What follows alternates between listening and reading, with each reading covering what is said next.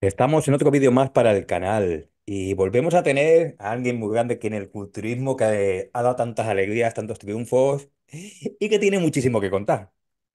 Rafael Ovejero, Rafa, cuéntame un poquito. Alegrías y algunos disgustos también, ¿eh? ¿Qué? Alegrías y disgustos también, no, no creas que no, ¿eh? gusto, de gustos mínimos. Bueno, lo que le pasó, le- lo que le pasó a Abel con, con Pavel, pero bueno, son cosas que. Bueno, bueno. Yo, yo me refería a disgustos con, pues eso, con, con habiendo sido el malo de la película, pero vamos, Pero malo, malo no, una vez allí ya. no es el malo, tienes que. eh, lo que te- está claro que tú tienes que tener un un conjunto de atletas, tienes un número y tienes que ceñitas de número que te, que te, que te piden los, los Bueno, ya, ya sabes que muchas arriba. veces, ya sabes que muchas veces eh, la lógica, la lógica del competidor es otra. Sí, sí, pero no es lo que tú quieras, es lo que, es lo que se. Ojalá hicieras lo que tú qui- quisieras. Pero vamos, que no, que no, eso no ha, no, en mi carrera como seleccionador no ha, no ha tenido ningún, ninguna implicación, ¿eh? No, te lo digo. yo me acuerdo hace años que también te pregunté, digo, ¿puedo competir internacional? Y me dices, si cumples esto y esto, sí, si no, no puedes. Y me lo dejaste muy claro. O sea, o sea, no porque yo, tú quisieras o no quisieras, sino porque la cosa estaba muy clara. Y que, que lo quiera entender, lo entienda. Quien no, pues, ¿qué le vamos a hacer? Pues nada, cuéntame un poquito de esas historias que tienes ahí que todos queremos saber. Bueno, sí, más que nada es que, bueno, pues eso, es que 12 años, casi 12 años dan para mucho, ¿no? Y pues ha habido un mogollón de anécdotas, ¿no? Y yo creo que, bueno, pues da para, da para mucho más de una sesión. Entonces, bueno, pues si te parece, pues lo, lo, lo bueno, lo, lo más eh, lógico sería empezar pues por lo, pues, cronológicamente, ¿no? Y ya digo, anécdotas ha habido un mogollón. Eh, eh, malas, buenas y maravillosas, ¿no? La mayoría de son muy buenas, ¿no? Pero como, como son tantos años, pues ha habido de todo, ¿no? Pero yo creo que la mejor forma es de hacerlo, pues en el caso de que, de que hagamos alguna otra entrevista con el tiempo y, y dejando tiempo a la gente de respirar, ¿no? Y que, que vea otras cosas, pues yo creo que además a, a muchos de los que de los que de los implicados, ¿no? Yo creo que les gustará, ¿no? El, el- el escuchar, escuchar y recordar y rememorarlo, ¿no? El, el- esas historias en las que están, en las que están implicados, lógicamente. Porque como digo, hay muchos, muchos, muchos deportistas que han pasado por la selección y, y ya no solo por la selección, sino por, también por la preselección, que, que, bueno, pues el evento en sí se convirtió Una de competición. buenas a primeras, se convirtió en, en- y, y no lo digo yo, creo que, creo que al final el tiempo da la razón, ¿no?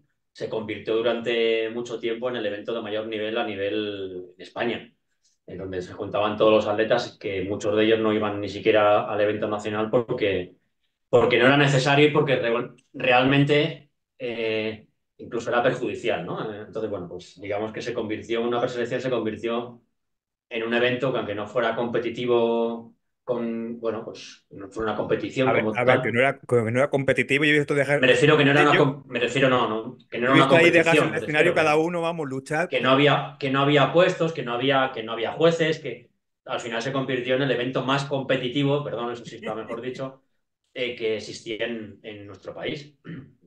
Y eso al final pues se corroboraba en, en los eventos internacionales con el, con el nivel que nuestros atletas daban a, a los eventos. Y, bueno, yo he intentado, bueno, pues hacía, haciendo un poco memoria, ¿no?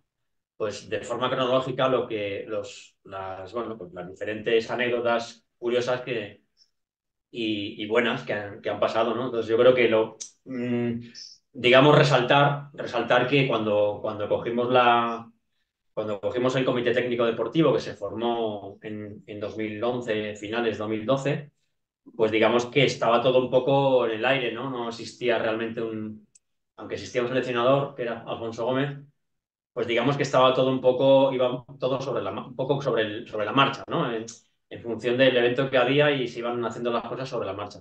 Bueno, el Comité Técnico Deportivo se formó precisamente para organizar eso. ¿Qué ocurre? Que también coincidió, como, como vimos en la, en la anterior entrevista, que lo comentamos, pues que hubo un boom con las categorías nuevas y con, y con, bueno, pues con el culturismo que al final pues como, como ha ocurrido y, y- digamos que, que pasa hoy, ¿no? Que está muy, está puesto a, pues a gusto del consumidor. Eso ha hecho que, pues que entre en nuevas categorías y nuevo público que, que es más asequible, con lo cual, coincidiendo con esos, con ese momento, con licencias, con dinero que había, con lo cual, pues se pudo, se pudo realizar algo muy potente que son pues eventos, eventos en europeos, por ejemplo, pues pudiendo llevar un equipo muy, muy, muy completo. ¿Qué ocurrió? Pues que hacíamos una, una convocatoria como tal, una, convocatoria para una preselección, en la cual, bueno, pues pensando que íbamos a tener un, un determinado eh, número de atletas, pues al final se desbordó. La primera preselección, si no me equivoco, fueron, se hizo aquí en este club, además, porque las hacíamos aquí, para intentar, bueno, pues aunar un poco que fuera en Madrid, lógicamente, y un sitio que no costara dinero, porque aquí se hacía todo, lo hacíamos, yo lo prestaba el, el club, no, no cobraba nada. Y, y, y, hacíamos también controles antidopaje a todos los que eran elegidos, con lo cual eso lleva un trámite bastante largo y extenso y se necesita mucho espacio. Bueno, pues lo hacíamos aquí. Empezamos con una preselección con pues, aproximadamente, no sé el número exacto, pero entre 100 y 120 eh, el primer año. Eh, el segundo año ya se desbordó a 180 hasta que, bueno, pues en un momento dado nos encontramos aquí para seleccionar a 265 personas. O sea, fíjate, una verdadera locura. Estuvimos eh, pues prácticamente un día entero haciendo la preselección, desde por la mañana hasta por la noche. Como te digo, todos, todos los atletas que eran elegidos pasaban el control antidopaje, con lo cual pues, mi compañera, la jefe médico del club, que es la que hacía los, los controles antidopaje, pues empezaba a las 10 de la mañana y se iba a las 10 de la noche. O sea, imagínate, una locura, ¿no? Eso, eso, era, pues eso, como te digo, nos desbordó por completo era muy bonito, pero muy, muy cansado. O sea, luego al final realmente cuando acababa la preselección estabas muerto, porque era infernal. Ir pasando atletas, atletas, atletas, hasta que pues tenías que hacer un, un, un, descanso para comer y continuar por la tarde. O sea, era una verdadera locura. Bueno, yo creo que eso, eh, eso hizo, además, que batiéramos el récord en, en, el, en un europeo llevando a 77 atletas en una selección. Eh, batimos el récord, no había ninguna selección que había llevado tantos atletas.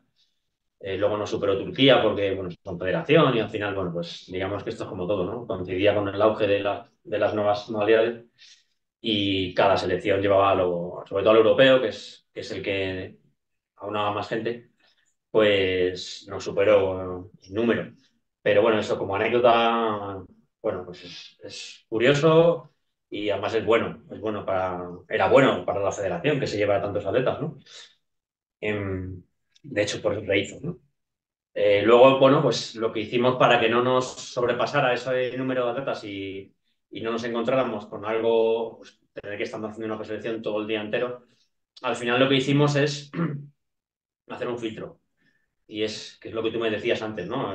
Pues el cumplir unas normas específicas para que no pudiera, entre comillas, pues venir cualquier atleta sin tener ningún tipo de currículum, que es lo que nos encontrábamos, atletas que no habían competido nunca, que se hace una convocatoria para un campeonato de Europa en España y, y bueno, pues yo te puedo decir que yo recibía todos los correos, yo hacía todo, inscripción y recepción y todo, y había gente que escribía directamente que yo vivo al lado, así de claro, ¿eh? yo vivo al lado, eh, yo quiero ir y no he competido nunca. Bueno, pues imagínate, campeonato de Europa en el cual el mayor nivel, eh, porque aunque se hacían mundiales también, el campeonato de Europa era el potente, eh, en esas épocas era el potente, en el que venía todo el mundo, y venía muchísimo nivel y, y casi más que un mundial. Y bueno, pues al final tuvimos que hacer un, un corte y pedir una, bueno, pues un, un, currículum mínimo para poder asistir a una preselección. Ya, ibas a decir algo, Alex, perdón. Un currículum mínimo y dos, y dos años seguidos de ficha, que no se olvide nadie. No te oigo. Digo que un no te oigo. Un currículum mínimo y dos, y dos años seguidos de ficha nacional. Sí, bueno, lo de la ficha realmente es algo, lo del tema de la licencia era algo, bueno, pues circunstancial, se propuso en una, en una asamblea y, se llegó a votación y bueno, eso es una cosa, un tema de fidelización. Pero además del tema de, de, fidelizar, es el tema del tema del currículum. Que no, más que nada porque además es absurdo hacer, hacer que la gente se gastara dinero en venir a Madrid. En, al final, todo el que no es de Madrid le tiene un coste, ¿no? Eh, sabiendo que no van a ser elegidos, porque una persona que no ha competido nunca, ¿cómo se le va a ocurrir ir a un campeonato de Europa? Solo porque vive enfrente o porque vive en el pueblo de al lado, que eso no se ocurría, ¿no? Sí, sí, pero, pero que eso lo han hecho con el Arnold, que sí que lo han hecho. Como el Arnold se le permitía, lo hicieron. Que eso, esto para mí, para mí fue el principio de la, de la cagada mm, de lo que... Bueno, yo creo que esto es como todo, ¿no? Al final, al final, cuando te encuentras con un cambio tan radical como, pues, como tener mil licencias casi mil licencias, no llegar a mil licencias, y de un año a otro duplicarlas o triplicarlas, al final pues es lógico que, que te encuentres con modalidades nuevas, con categorías nuevas, con gente diferente, con gente que no entiende el deporte como nosotros. Y bueno, pues digamos que había que informar, había que hacer un trabajo de base importante. Yo, yo te puedo, bueno, otras, otra anécdota te puedo decir que mi hijo recién nacido dormía fatal y, llamarme un tío a las 5 de la mañana, un chaval con 19 años diciéndome que estoy que te cagas, vas a flipar cuando me veas. O sea, te puedo contar cosas así, ¿no? Es decir, bueno, luego no pude flipar, lógicamente, porque, porque no pude flipar porque ni siquiera vino, porque como perdió el de promesas de Cataluña, pues no pudo venir, ¿no? Pero cosas de chavales, cosas que lógicamente ahora, hoy en día, te hacen gracia, ¿no? Pero imagínate, no, hoy en día no duermes con un niño que no duerme a las 5 de la mañana poniéndome mensajes, también gilipollas por mí, por no quitarle la voz, pero mm, vas a flipar a un tío con 40 y pico años, un chaval de 19 años, vas a flipar cuando me veas. O sea, bueno, hay que enseñarle, ¿no? Y se ha hecho un trabajo muy potente de intentar informar a, sobre todo a estas nuevas modalidades, esta nueva gente que entró en la federación, bueno, pues que esto, aunque, aunque es más fácil, son más asequibles, pero no, no es de un día para otro. Sí, pero hoy en día se está haciendo creer lo contrario, que eso es lo malo, que con lo, que os ha costado inculcar a vosotros, que habéis inculcado súper bien la, cómo hay que hacer las cosas, paso por paso, escalón por escalón, ahora se, quiere ahora decir que todo vale, que todo el mundo puede ser profesional, que todo, que, que vamos, bueno, que se ha cometido un negocio eh, con la ilusión de la gente. Es otro, es otro culturismo y bueno, yo creo que prácticamente el inicio de lo que hoy, es, de lo que hoy está ocurriendo, el inicio lo vivimos ahí, ¿no? El, acercar, el acercar el culturismo a, pues a la sociedad, al final, pues lleva, que no, no digo que sea malo, ¿eh? pero al final lleva a lo, que, a lo que estamos viendo el día de hoy. En esa época yo lo que notaba mucho es que todo el mundo, eh, su, máxima, su máximo objetivo su, o su único objetivo en algunos casos, fíjate, era ser profesional. Sea, una persona que no había competido nunca, este chico, por ejemplo, ni, se me acuerda, ni siquiera me acuerdo el nombre y es que ni quiero, pero su mayor intención, o sea, su objetivo principal, sin haber competido nunca, era ser profesional. Entonces, bueno, por desgracia, entre comillas, la mayoría de los atletas en esa época, pues digamos que era su objetivo, cuando el objetivo yo creo que el objetivo real, real, o sea, puesto en la vida real, no, no debe de ser ser profesional. Yo creo que ser profesional eh, y creo que en eso nos basamos muchos de los de la vieja escuela, ¿no? Eh, ser profesional es, eh, está, es para los que les han tocado con la varita y realmente pueden desarrollar una vida deportiva en ese ámbito. Los demás, bueno, pues yo creo que también en ese momento, digamos, acompañando con el auge de, de, todo esto y del negocio que tiene detrás, pues al final la gente quería ser profesional solo para poder cobrar un poco más en las preparaciones, que al final realmente el objetivo era ser profesional por tener una tarjeta, no por competir. Porque realmente yo les informaba a todos, si, yo, si tú quieres ser profesional, yo te voy a ayudar en todo lo que pueda. Pero realmente mi pregunta era la siguiente, ¿para qué quieres ser profesional? Competitivamente tienes, te hablo de antes, ahora, ahora no, pero antes, tenías dos eventos, tres, y, y encima la mayoría de esos tres, dos eran en Estados Unidos, con lo cual realmente, si lo que quieres es competir, no seas profesional, sea amateur.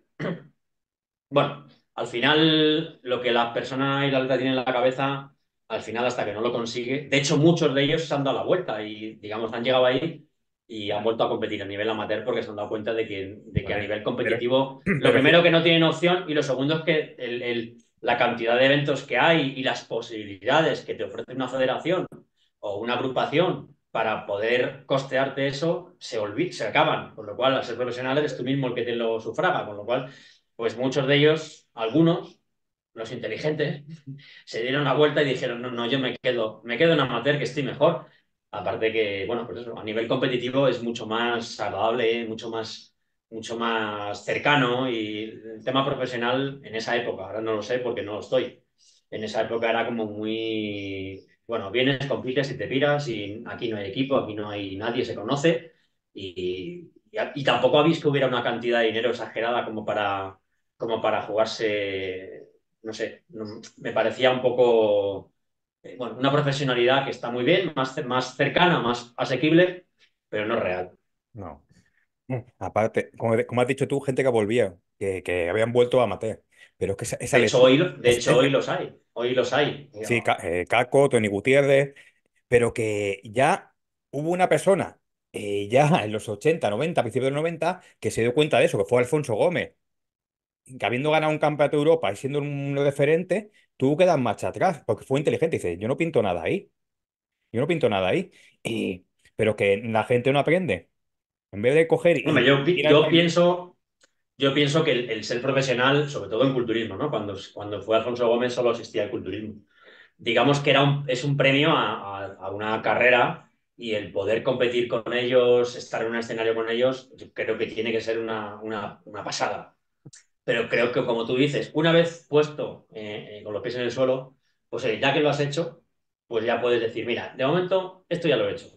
Pero ahora si quiero competir, me vuelvo a meter, porque realmente es donde tengo más opciones, donde tengo más competiciones, más posibilidades, eh, en fin, que la federación te apoye, que, que, que tengan más ayudas. eh, bueno, a nivel profesional, yo creo que, pues eso, el que se toca con la varita es el que tiene un poco, pues esa, y, esa y, y carrera, y ni aún así, bueno, corta o, o- y larga, eso ya depende de cada uno, pues, y ni aún así, acuérdate de Iron Baker, Iron Baker con el nivel que tenía, que hoy ganaría todo, y, y estaba ahí a duras penas por, por los contratos y claro. eso, porque por premios, con los robos que le hicieron, o sea, que ni tocando, ni tocado con la varita a veces llegas a algo.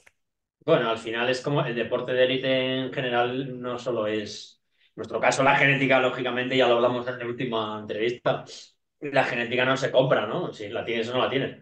Pero aún así, pues el Aún deporte así. de élite es eso, el deporte de élite es estar en el momento apropiado cuando tienes que estar y con la gente que esté a tu lado que, pues que se dé el, que se dé el día.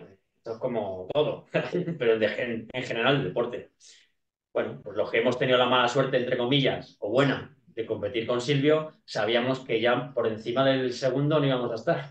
Entonces, bueno, pues eso es una suerte y, y una desgracia también para, a nivel competitivo, pero bueno, pues eso, eso es como todo. No solo es estar tocado con la varita, es tener la suerte y que ese día se den las cosas. Sí.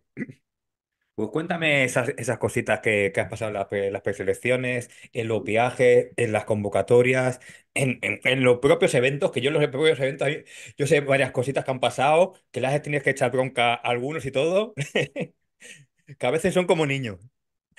O ahí, la, yo la verdad es que yo bronca no- nunca jamás le he echado a A nadie. Lo ver, primero bronca no, porque no, voy. Lo primero porque no, no, no estaba para eso y lo segundo porque yo no tengo que echar la bronca a nadie, a mi hijo, el único. Pero es cierto que hay veces, había veces que había que, bueno, pues digamos, dar un toque de atención, mejor, digamos, mejor dicho, ¿no? Eh, ha, ocurrido muchas veces, muchas veces. Me viene a la cabeza una en concreto que se acordará, se acordará mi amigo Manolo Cañadilla, en un evento, pues una preselección que era, pues yo, bueno, te puedo decir, no lo sé exactamente, no lo, he, no lo tengo apuntado, pero yo creo que en esa preselección había por lo menos 10 campeones europeos y mundiales, Joder. en esa preselección. Digamos que era una preselección muy complicada, muy para un, para un evento para un evento mundial, eh, además muy lejos, con lo cual, pues cuando, son, cuando eran muy lejos, el coste era mayor, con lo cual las plazas había que, eran reducidas. Había que hacer encaje de bolillos para poder llevar incluso ya a, los que sabías que iban a hacer medalla de oro. Imagínate si tienes a 10 o 12 tíos en un escenario y tienes que elegir a 5, por ejemplo. Bueno, pues en este caso muchos de ellos que ya son campeones o eran campeones, que lo siguen siendo hoy en día, pues venían un poco, digamos, entre comillas, relajados, ¿no? Relajados me refiero en cuanto a punto, en cuanto a punto de, de competición, ¿no? Como hemos dicho, no es una competición en la preselección, pero sí es un evento muy competitivo en el cual, pues cuanto más fácil lo pongas, eh, más fácil tienes la plaza. A mí cuando me preguntaban siempre, a mí yo hablaba mucho con los atletas, porque es algo que me encantaba, no, no hablar con intermediarios, con los atletas. Si me quería llamar su entrenador, también hablaba con él, pero yo hablaba con, directamente con el atleta. Eso es algo que siempre he tenido como mi, mi prólogo, ¿no? Eh, hablar directamente con el atleta, que es con quien me voy a desenvolver en el caso de que sea seleccionado, o en el caso de que no sea seleccionado también, que eso también me gustaba, hablar directamente con ellos. Eh, bueno, pues es cierto que en ese caso Manolo vino, en esa preselección vino un poquito fuera de punto eh, y hubo que llamarle la atención y digamos, bueno, pues hablar con él y plantearle, plantearle un reto. ¿eh? Y el reto era que si, si venía a competir, él quería competir en una categoría y le dijimos que si quería ir a ese campeonato, tenía que ir en la categoría que yo le decía. Y bueno, pues se lo tomó lógicamente como competitivo que es, se tomó como un reto ese, ese objetivo. Eh, lógicamente lo consiguió y ganó ese mundial, las cosas como son. Pero lo pasó mal, lo pasó mal.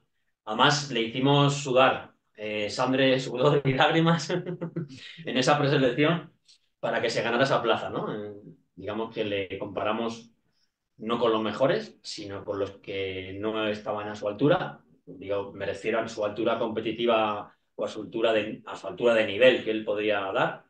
Y digamos que eso le, le dio un... se espabiló y, y, como digo, o sea, el tío es un crack y, y lógicamente fue al campeonato, confiamos en él confiamos en él con esa, eh, planteándole ese reto y fue al mundial ese mundial y, lógicamente lo, ganó en la categoría que le dije. Ojo. Y bueno, pues eso, bueno, es una de muchas anécdotas que hemos tenido con, con muchísimos grandísimos atletas, ¿no? En este caso, pues Manolo que, que ha sido lo mejor con, con la selección, ha conseguido todo. Pues bueno, pues creo que, creo que al final es enriquecedor, aunque en su momento en el momento a lo mejor no fuera muy gracioso, pero creo que al final eso es muy enriquecedor. Lo hicimos con otros muchos atletas, que ahora no me acuerdo de nombres porque son, han, competido menos, pero atletas que venían teniendo, como decíamos, estando, tocados con la varita, pues venían, venían flojeando. Algunos se han quedado, ojo, no, no, al final no les dimos la, la confianza porque, pues, por desconocimiento, porque no les conocíamos y no confiábamos en alguien que no conocíamos, pero sí más adelante se la, se la concedimos y al final creo que, que todos, absolutamente todos, con los que se ha, con los que se ha retado, entre comillas, planteándoles un cambio de modalidad o de categoría, al final ha salido bien. Pero como digo, hay pues un mogollón, un mogollón de, de anécdotas de ese tipo en preselección. Luego en campeonatos, pues mil.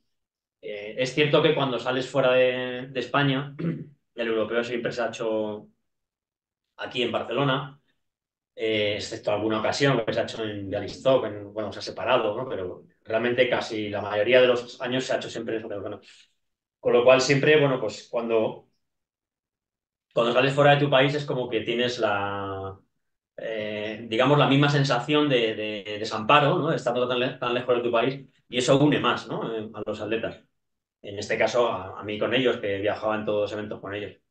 Bueno, pues eh, se puede hablar en San Salvador, por ejemplo, que, nos encontramos allí con un calor enorme y, y, en un país, pues eso, que no, que no es habitual hacer eventos de, de culturismo, pero que se hizo un evento genial y que y bueno, pues que nos encontramos allí pues con un, con un chándal de felpa a, 40 grados y con 75% de humedad y que en cuanto llegamos allí haciendo el pesaje y pues yo qué sé, un día entero casi haciendo el pesaje, un calor insoportable, un cansancio brutal del viaje, pues dos atletas se me pusieron en manga corta y en, y en y con una bermuda y se fueron, eh, Rafa, que nos vamos a dar una vuelta. Y digo, pero que no venís de vacaciones. Venís con la selección. Entonces, ¿me ves a mí cómo voy vestido? Sudando, ¿no? Veis que llevo el chándal, la sudadera. Además, para ese campeonato les hice un, les hice una ropa de corto, porque sabíamos que iba a hacer mucho calor, y les hice una camiseta y un pantalón corto. Digo, pues mira, vais a iros a dar una vuelta, sí, pero vais a dar la vuelta ahora mismo, vais a subir a la habitación y vais a poner la ropa que os he entregado de corto. Así no vais a ningún lado. Si no, cogéis el viaje, el mismo viaje lo aprovecháis y vais al aeropuerto. Y, y así fue. Esos dos atletas son Oscar Marín y Pet Merino. No tengo ningún reparo en decirlo porque lo hemos hablado muchas veces. lo hemos hablado muchas veces y nos hemos reído, ¿no? Dices, eh, me estás diciendo tú a mí que voy en chándal, que llevo aquí 10 horas en un pesaje aguantando a todos, porque yo tengo que aguantarles a todos, tengo que estar hasta el final, y me estás diciendo que te vas en bambas y con una camisa de flores a dar una vuelta por San Salvador, eh, me parece que no. Te vas con el traje de la selección porque para eso se ha hecho.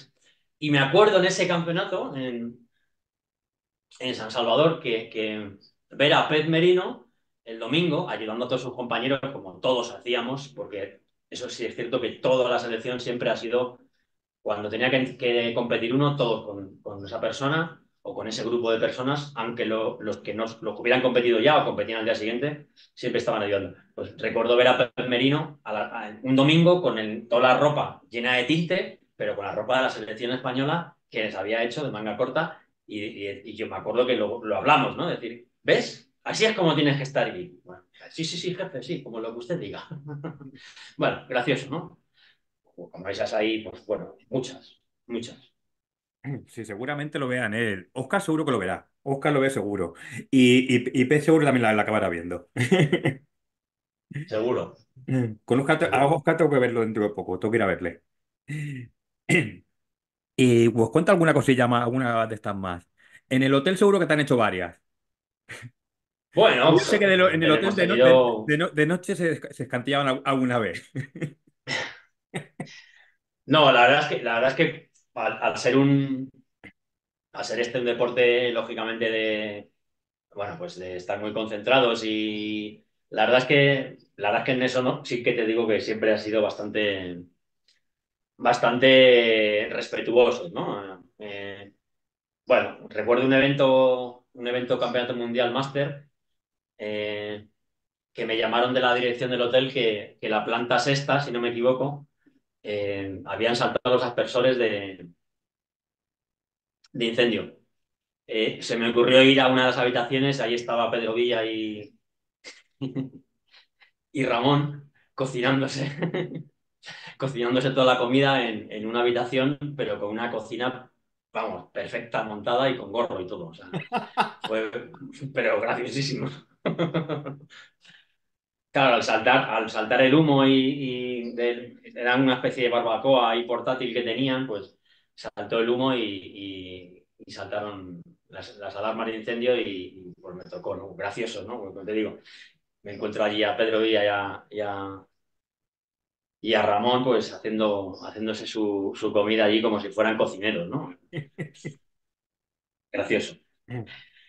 En otra, esa otra ocasión me ocurrió, eso también fue en Benidorm y, también fue con, otro atleta que es Antonio de la Torre, que se llevó un camping gas y igual se, hacía la comida en la terraza ahí como bueno, pues eso, como, como si fuera una cocina, ¿no? Y también me avisaron de la dirección que, que había saltado las alarmas. Bueno, son cosas curiosas que ahora te ríes, pero que en su momento pues te acojonas, porque un edificio con, en ese caso, un edificio con 36 plantas, hay que desalojarlo porque está un tío con un camping gas haciéndose la comida, imagínate. también lo hemos comentado últimamente. Bueno, Antonio La Torre me une una amistad muy grande y, y alguna vez lo hemos comentado, ¿no? Pero bueno. Gracioso. Gracias. Y espérate que te... Y con Miguel Ángel, eh, yo creo que Miguel Ángel sería casi uno más del, del grupo de atletas, porque siempre estaba ahí con todos sus atletas, como dándolo todo y, y siempre acompañándolos. ¿Cómo, cómo lo Sí, Miguel Ángel además, eh, yo hubo una temporada en la que, en la que abogué para que Miguel Ángel nos acompañara como, como entrenador, digamos, como entrenador de la, de la selección ya no solo por llevar el, el, grueso de la selección, porque es cierto que la mayoría de las selecciones que yo he llevado, hablo de, hablo de culturismo y, y, y, clásico de bodybuilding, etc. Sobre todo, eh, Miguel Ángel siempre es el que tenía el, mayor número de atletas dentro de la selección. Y un año en concreto abogué porque viniera y me acompañara y que me echara una mano también y que hiciera un poco, bueno, pues como, como capitán del equipo, ¿no? Y recuerdo que fue en un Mediterráneo, en, si no me equivoco, fue en Niza, en el cual, pues, ya te digo, él vino como un, como un delegado más y además ese, equipo fue bastante fluido. Yo creo que fue, sí, seguro, sí, yo creo que fue en Niza, sí. Es que ya, pierdo un poco. No, tengo a Sergio Dufour al lado que sé que me pone al día, pero, pero yo creo que fue en Niza que llevamos un equipo bastante completo y vino, vino Miguel. Y una anécdota curiosa en ese campeonato, sí, fue en, o en Córcega, fue en Córcega, perdón, en Córcega. Eh, estuvimos en un camping, nos hicieron un, nos abrieron el camping y el campeonato se hizo allí también en una especie de polideportivo pequeñito. Y, y claro, yo a nivel técnico nunca he entrado, jamás, jamás. Es una de las cosas que también tenía como, como mi Biblia, ¿no? El no ten- De hecho, muchos atletas me preguntaban o intentaban, eh, intentaban que yo colaborara en, bueno, y ahora a partir de ahora, ¿qué tengo que hacer? ¿Tengo que tomar lo que tú me digas? ¿Tengo que comer lo que tú... Digo, no, no, ojo, yo soy nada más que el seleccionador y el jefe del equipo. Yo lo que tú hagas con tu entrenador, pues eso, eso sois vosotros, yo no tengo nada que ver. Entonces, bueno, digamos que yo nunca he entrado en nada técnico, ¿no? Eh, bueno, en ese evento, al ser un camping, era un restaurante, una cafetería muy grande, eh, tipo, tipo autoservicio. Y bueno, pues yo a los atletas siempre me gusta dejarles, digamos, a su aire, ¿no? Ahora en las convocatorias. Bueno, pero, pero sí me gusta hablar con todos y ver cómo se encuentran, en fin. Bueno, pues en ese caso estaba yo sentado con, con Miguel y empecé a ver pues, los atletas el día anterior, ¿eh? El día anterior al pesaje. Eh, no, miento, el día después, el día de- o sea, el mismo día del pesaje por la noche. Y yo veía a los atletas y yo le preguntaba a Miguel, Miguel, ¿es normal? ¿Es normal que coman tantísimo el día antes de la competición? Y él me dijo, mira, Rafa, tú fíjate en los míos. Yo creo que en ese campeonato eran, llevaba como 8 o 9. Era, en total éramos 17 y 18, ¿no? Pues él llevaba 8, 9 o 10, muchos. Dice, tú fíjate en los míos. Iban con el peso, con la báscula y con los platos que estaban rasos. Bueno, veías a los que no eran suyos y eran los platos que hacían montañas. Pero no uno, siete platos. Y yo le decía, yo no voy a decir nada jamás. Nunca, porque es algo que jamás voy a entrar. Lo que sí voy a entrar es en el resultado. Y me dijo Miguel, tú fíjate, nada más, mañana si quieres, cuando acabe el campeonato, hablamos y vemos quién ha cogido y quién no ha cogido del buffet y vemos los resultados. Bueno, yo ese campeonato lo hice, lo vi sentado como, como juez principal porque no había prácticamente jueces y, aparte que cuando yo salgo fuera siempre juzgo, ¿no? Eh, bueno, cuando empezaron a salir los nuestros yo me quería morir. Los nuestros que no eran de Miguel, claro. Bueno, unas barrigas. O sea, un, un, un punto de competición que, ojo, curiosidad, muchos, por no decir todos, de esos atletas que, que en ese momento no eran de Miguel, en ese momento, en ese campeonato fue el último que no fueron de Miguel. Todos volvieron con, fueron a Miguel. Todos, Lógico. curiosidad. Pero después imaginar, yo no dónde meterme, hacía así, madre mía, madre mía. Encima de que era un sitio que no, no era muy. Las luces no eran muy, digamos, que no te favorecían mucho. Por lo cual, si no estabas bien, se te veía peor. Y si estabas bien, se te veía regular. Bueno, hicimos un papel muy bueno, todos en general, ganamos por equipos. Miento, quedamos segundos, nos ganó Libia, Joder. porque fue con un equipo de estos súper potente que eran, bueno, eran todos comprados de otros sitios, pero nos ganaron. Pero vamos, digamos que nosotros hicimos un muy buen papel, pero claro, los nuestros, algunos eran para, pues fuimos, según se iban bajando en la escalera, les fui poniendo las piedras a cada uno. Y dije, vamos a ver, ¿cómo se puede comer tantísimo y luego salir así? Bueno, curiosidades que al final, bueno, pues digamos que he ido aprendiendo sobre la marcha en estos años, que como digo, en nuestra época, hablo de la mía, no era así. Yo jamás, jamás antes de una competición he comido, mm, vamos, más de lo que tenía que comer, que era, pues eso, lo justo para no salir dilatado y, además es que aún así, es que no tenía ni hambre. Pero bueno, como digo, yo en eso no entraba y al final, pues como te digo, lo que vimos en el restaurante, pues se corroboró el día siguiente en la competición, que estaban todos infla- inflamadísimos y tapadísimos y como te digo, como no era muy buena, pues tampoco les favorecía. Miguel siempre ha sido muy enriquecedor, siempre que ha colaborado con la selección, siempre ha sido muy enriquecedor y creo que, como te digo, o sea, es que Miguel Ángel y yo hemos tenido vía directa muchos años porque raro era la preselección que no mandaba un mínimo de 10 atletas. Con lo cual, pues yo creo que era, un baluarte importante para, para el equipo. Aparte, supongo la, la tranquilidad, él cuando habla con, lo- con, con los atletas, cómo le, tra- le transmite todo, esa seguridad, es, es- eso que tiene Miguel Ángel que los demás no tenemos, pero que sabe meterse Bueno, al final, y eso. al final los atletas, como, como te he dicho, al final los atletas eh, son los que eligen a, a su entrenador y si el entrenador, en este caso a Miguel, Miguel al final tuvo que, que cortar un poco porque se iba de... no podía asistir a tanta gente. Pero al final los atletas no son tontos, los atletas ven el trabajo de una persona que no falla y al final lo que quieren es, es imitarlo, ¿no? Entonces, como te digo, en ese campeonato en concreto, todos los que salieron mal pues, eh, fueron, acabaron todos con Miguel, todos. Lógico, pero que Miguel, un súper detallista en todo. Es que es lógico. Pues cuenta alguna cosita más, alguna anécdota más. Ah, una Uf, pregunta, una pregunta. dime, dime, pregunta. ¿Es verdad que Sergio Dufo ronca tanto cuando duerme en los hoteles?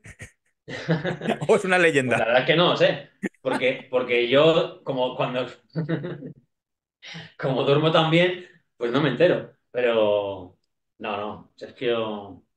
Con Sergio eh, solo he estado una vez y fue en Dubái, bueno, en Emiratos Árabes, que fue un campeonato brutal, pero brutal. Y la verdad es que es un. Todo, yo no, sol- no solía quedarme nunca con los aletas, siempre eh, les dejaba a ellos que estuvieran. Pero en ese caso, pues eh, por las circunstancias de la, del hotel, pues me tocó compartir habitación con un atleta y, y con Sergio, con, con cualquiera de ellos hubiera estado igual, pero con Sergio, bueno, digamos que él fue el que, bueno, pues con la amistad que nos une, pues creo que no iba a haber ningún problema. Y no, eh, creo que todo aquel que comparta la habitación con Sergio Dufort, te aseguro que se saca un, un mitad de máster, ¿eh? porque es un tío muy metódico y, y del cual se puede aprender mucho, ¿no? Yo- de hecho, yo en ese campeonato, eh, ojo, desde fuera como, como técnico, pues aprendí bastante, ¿no? De lo que los atletas de esa época, de ese momento, bueno, pues cómo, cómo se preparaban, cómo jugaban con el agua, en fin. Fue, como digo, también muy enriquecedor. Y de hecho, hoy en día eh, lo ha demostrado que es un excelente preparador y, y ha cogido el testigo un poco de, de Miguel Ángel, ¿no? Pero no sé si ronca porque el que yo, yo dormía muy bien, con lo cual a lo mejor soy yo el que ronco y no lo sé, porque no me lo sé. Pues sígueme contando, que está todo esto muy, muy interesante y me lo estoy pasando genial. Bueno, a ver cómo, como, como te dije la otra vez, con que lo vean uno o dos, no vale. Yo me conformo. Las batallitas estas de abuelo ya. Bueno, abuelo, Eh, con- mira, te, abuelo con te- 50 años tampoco, ¿eh?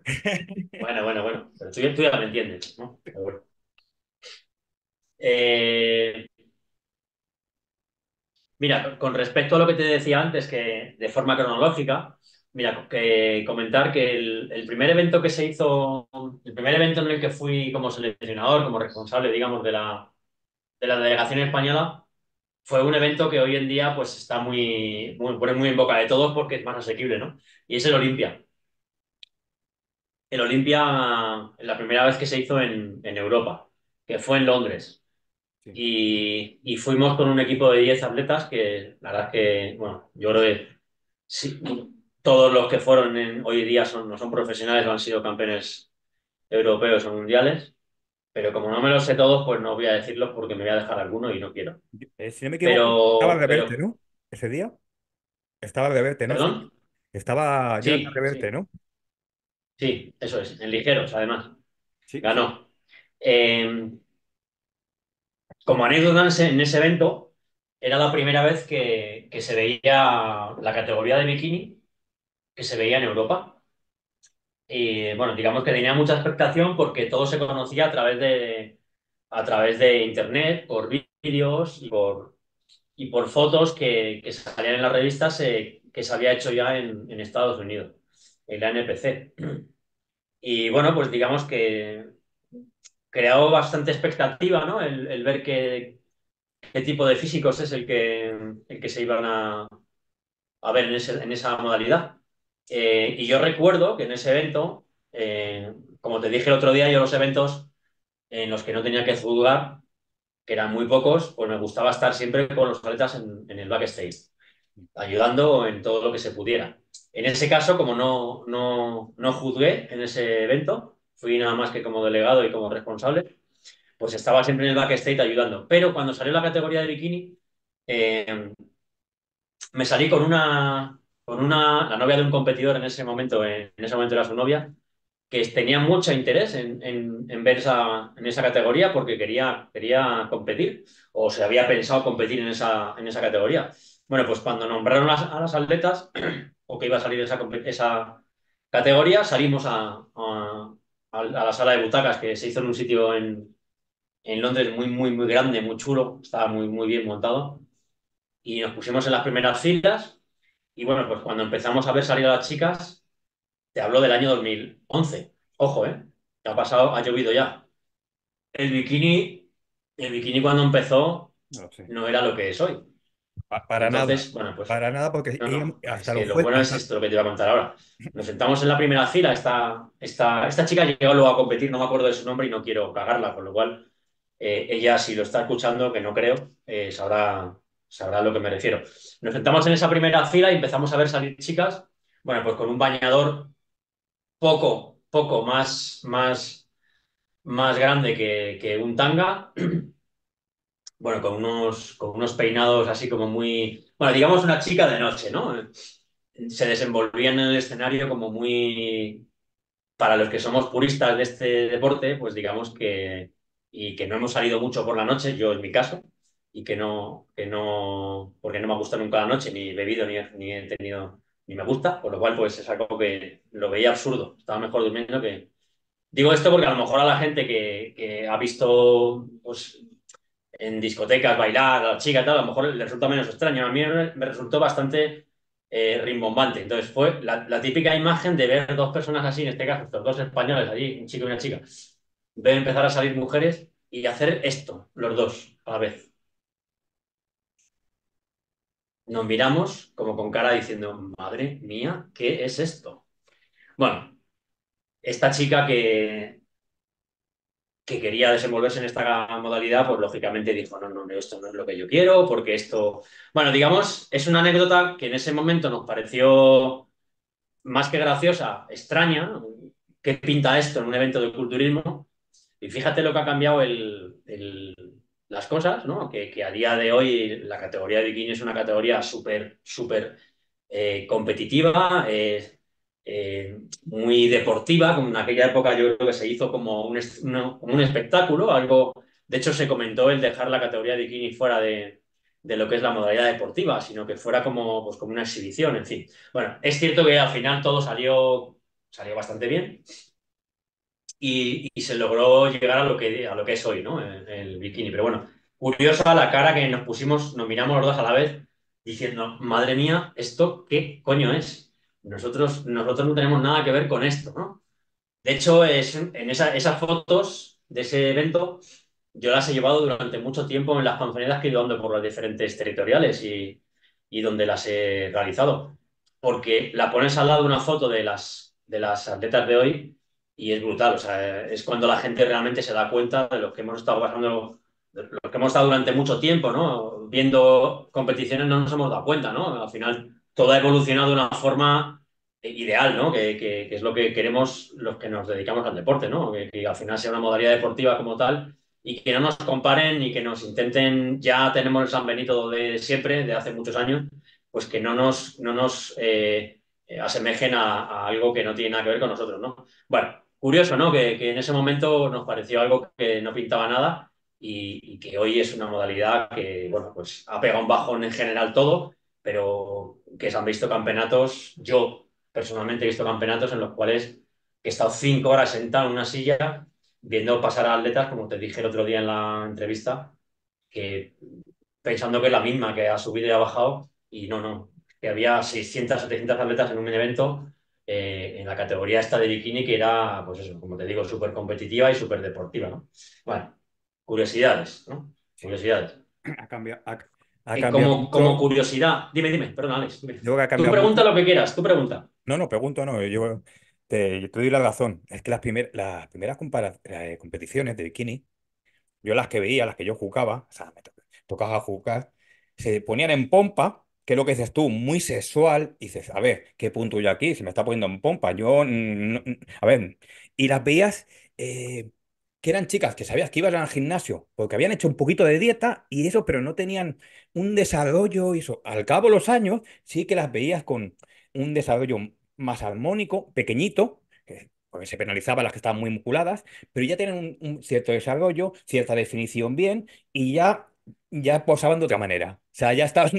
Es que eh, en las primeras eh, competiciones dices, ¿qué punto yo aquí? Lo mismo. A ver, también me pasó lo mismo con los mens, ¿eh? Con los mens, cuando salió la Es lo pera, que te iba a decir, que, que, digamos, en la categoría Men Physique fue un año antes, fue un año antes y, y- no miento, fue un- esto fue en 2011, que luego se, se hizo Mens oficial en 2013. 2013, en 2014 fue el Men Physique, que se hizo el europeo y, como te decía el otro día, ¿no? Los fuertes y, los guapos, ¿no? Eh, digamos que a lo mejor en hombres estamos más acostumbrados, ¿no? Por, porque al final el culturismo se bifurcó en diferentes modalidades que, aunque son culturismo, como también los del Men Physique, digamos que al principio no era lo que es hoy, pero bueno, nos resultó también extraño ver un tío con un pantalón playero, pero digamos que como fue como algo, los, los que yo digo, los que somos puristas al principio nos, nos, nos chirrió un poco, ¿no? Pero luego realmente lo ves y dices, hostias, es que el entrenamiento que tienen que hacer, la planificación es muy parecida, sí, no es igual, no tiene que llevar a los extremos, porque además es incluso perjudicial, pero, pero yo creo que, bueno, hoy en día se ha ido de madre en general, pero bueno, hablo del, en ese momento, ¿no? En los años, desde el año 2014 al 2020, pues digamos que los parámetros estaban muy bien conservados y muy bien, muy bien fijados. Eh, pero realmente son culturistas, el entrenamiento es igual y, la mayoría de ellos, además, están, están entrenados y manejados y guiados por culturistas, ¿no?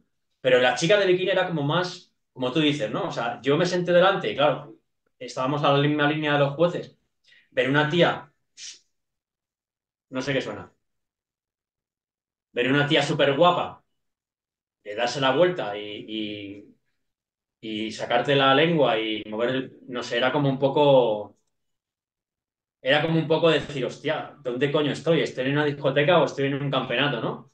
Entonces, eso es lo que a los que somos muy puristas, los que hemos vivido esto de otra forma, nos resultó un poco chocante. Pero como te digo, luego evolucionó todo, se hizo las cosas como había que hacerlas, se prohibieron todo ese tipo de, de, de- de cosas que no, no venían, eh, que no eran muy deportivas, que eran más, como tú dices, más sensuales, y al final pues ha llegado a lo que soy, ¿no? Que es algo, pues, como te digo, completamente fijado a nivel deportivo y que no tiene nada que ver, no tiene nada que ver. Pero bueno, curioso.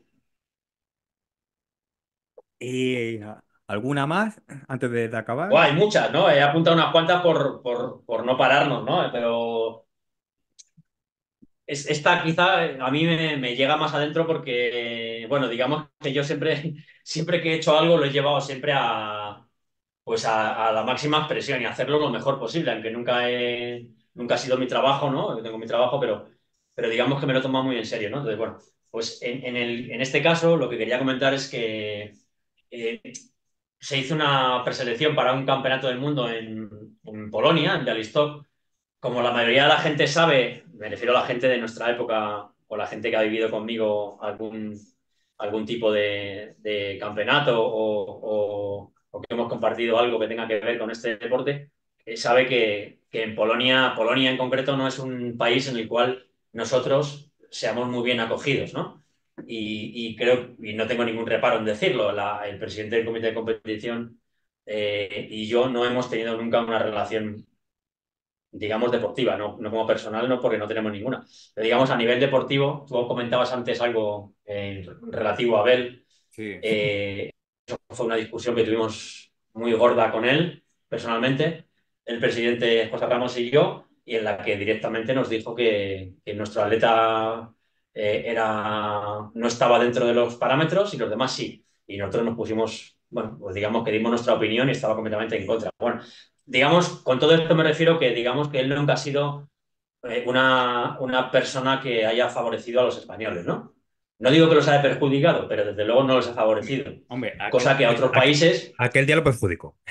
Bueno, cosa que a otros países, en otros países no, no lo ha hecho e incluso los ha beneficiado, o pensamos que los ha beneficiado. Bueno, con esto que me refiero, sin enrollarme, que fuimos a, digamos que fuimos a competir a, a territorio ajeno, ¿no? Eh, fuimos con un equipo, pues bueno, te hablo de atletas que hoy son profesionales, todos. Digamos, un buen equipo.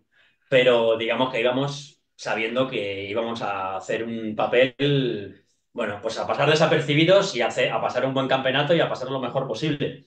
Y lógicamente a tener unas experiencias, que es lo que la mayoría de los atletas que han estado conmigo, por no decir todos, yo el primero, como responsable, la, la, experiencia que se coge un evento internacional fuera de España es como brutal. Entonces, bueno, pues digamos, íbamos un poco a, las, a, la expectativa de ver qué es lo que nos encontramos. Bueno, pues lo gracioso para nosotros, y bueno para nosotros, y malo seguramente para otras personas, pues fue que nos vinimos con cuatro oros de ese campeonato y todos los atletas, todos, que fueron seis, si no me equivoco, si no me equivoco vinieron con medalla, ¿no? Eh, bueno, digamos que felices no, lo siguiente, ¿no? Eh, esto fue muy comentado, ¿no? En, en, en, ese mismo año y años posteriores, ¿no? Y volvimos a ir a Polonia, otro año posterior, no sé si fueron tres o cuatro años después, fuimos a ir a Polonia y volvió a ocurrir lo mismo, que nos vinimos también con, con tres oros, ¿no? Eh, bueno, pues es como, como cuando te traes un oro doble, ¿no? Decir, coño, no solo es encima, es un oro, encima es un oro donde todo el mundo no está a tu favor. Entonces es como decir, hostia, es un doble triunfo, ¿no? Eh, bueno, te hablo de atletas pues, como Cristina Pajares, Enrique Gutiérrez, Kenneth de Vara, Eva Berenguer, que ese año ganó todo y, y, que es el, bueno, pues el máximo exponente para mí en la selección como, como, como fémina. Y, y, bueno, pues es algo que yo creo que van a ellos lo van a recordar de luego toda la vida, yo también, ¿no? Pero ellos más que son los que tienen colgado el oro de, del cuello, ¿no? Pero que, bueno, pues a veces, a veces, le, como decía antes, ¿no? A veces se dan las circunstancias y se consiguen cosas donde te piensas que no vas a conseguirlas y donde te supuestamente piensas que es más fácil, lo más asequible, no, no las consigues, ¿no? Ese es el deporte de, de competición, en nuestro más todavía, que depende de, pues de 11 personas que están sentadas ahí de su opinión. Mm. Mira, te voy a contar una anécdota de hace relativamente poco, de los últimos viajes, que fue en Dubái. Como, como en menos Dubái, es Emiratos Árabes, es Fujairah.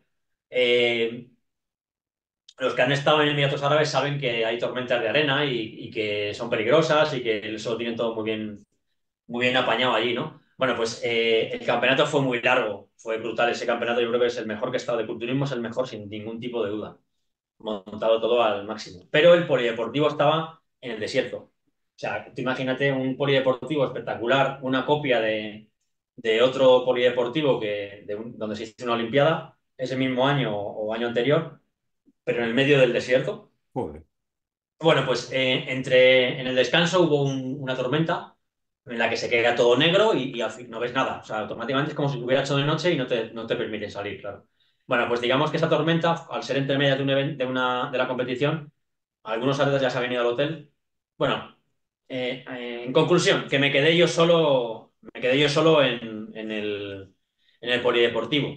Eh, no yo solo, sino yo solo de la selección, de, de, de la delegación española. Eh, bueno, pues mmm, se hizo de noche, no, no había coches para, para poder ir al hotel.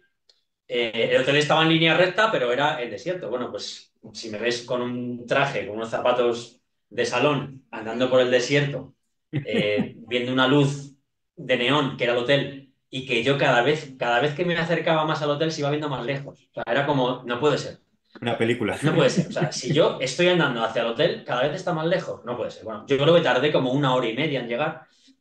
Pero lo gracioso es que le hice foto, claro. Lo gracioso es que me encontré una cabina de teléfonos de las antiguas que había en España que estaban como cerradas con un huevo en el medio del desierto. Entonces, digo, bueno, yo creo que me he muerto y, y esto es, pues eso, me he muerto y estoy ya, pues eso, en el, cielo viendo visiones. Digo, bueno, bueno, creo que llegué al hotel y, pude contárselo a los compañeros que, estaban allí en el hall y que hicimos una pequeña... Siempre, hace, siempre hacíamos un, siempre hacíamos una unión, ¿no? Una, una, Lo llamábamos cena, pero no es una cena de gala, es una. Porque había sitios, te puedo contar sitios en los cuales nos han dado de, cenar, y esto no es coña, eh, una bola de pollo para cenar en la cena de gala, o sea, eso fue en Hungría. Eso está Mire Martínez, además, que me puede, lo puede corroborar conmigo. Que, eh, eso es lo que nos dieron en la cena de gala. Por lo cual, imaginaros cuando vas a un país, nosotros que estamos acostumbrados a comer, es un, España es un país en el que se come muy bien y que es raro que vayas a un hotel y no te den, aunque sea comida de batalla, como yo digo, pero hay cantidad. Bueno, pues la cena de gala, os lo juro, era, no, no eran más de 20 gramos de pollo en medio de un plato. bueno, es, digamos que nosotros hacíamos nuestra pequeña, nuestro pequeño homenaje con los atletas, siempre, pues, aunque hubiera cena de gala o no hubiera cena de gala, nos juntábamos. Bueno, pues nos juntábamos siempre o bien en el hall o bien en la puerta del hotel para hacer una foto y ir bien vestidos, que siempre otra cosa igual. La selección española no solo se ha, eh, digamos, decantado o, sea, o se les ha conocido por, su, por sus triunfos y por, y por hacer siempre un buen papel, sino también por la elegancia, ¿no? Eh, nosotros íbamos siempre a los eventos internacionales y, después de acabar el campeonato siempre íbamos con traje y con corbata, que le rentaba yo a cada uno una corbata roja y una camisa para ir todos. Imagínate ir nosotros vestidos todos de traje y ver al equipo X, no te voy a decir cuál, todos, pues con el, chant, con el chándal lleno mierda, con unas chanclas. Entonces, digamos que todo el mundo nos miraba así. Éramos, llamamos la atención no solo por llevar la medalla al cuello, sino porque llevamos siempre la uniformidad y la elegancia por, por encima de todo. Las chicas todas con traje de noche, en fin, bueno, pues en eso siempre creo que nosotros nos hemos, nos hemos, eh, ha sido nuestra, nuestro toque, ¿no? El, que España siempre ha sido, ha habido uniformada y siempre ha sido muy, muy serio en eso. Vale. Pues ya con esto acabaremos. Ya con esto acabaremos porque quiero hacer una segunda parte y si me lo cuentas todo ahora, si me lo cuentas todo ahora, mal, porque te quiero preguntar por... Hay muchas, no, no, hay muchas, ¿sabes? Hay muchas. Para que es cierto que... Por eso quiero... yo no lo apunto, ¿no? Eh, quiero preguntarte... Pero podemos hacer un croquis, ¿no? Y, por eso, que quiero Y un índice, pero hay mucho. En 12 años hay mucho, mucho, pero mucho. Por, eso y con sus preselecciones y con sus historias y con el COVID por medio, en fin, hay muchas cosas. Por eso, quiero... como tú dices, mejor contarlo en varias veces, que la gente no se aburra. Sí, sí, porque si no, este, nos van a emular algo y al final nos van a perder algunas muy buenas. Y entonces, malo, ¿eh? no hay que perderse nada.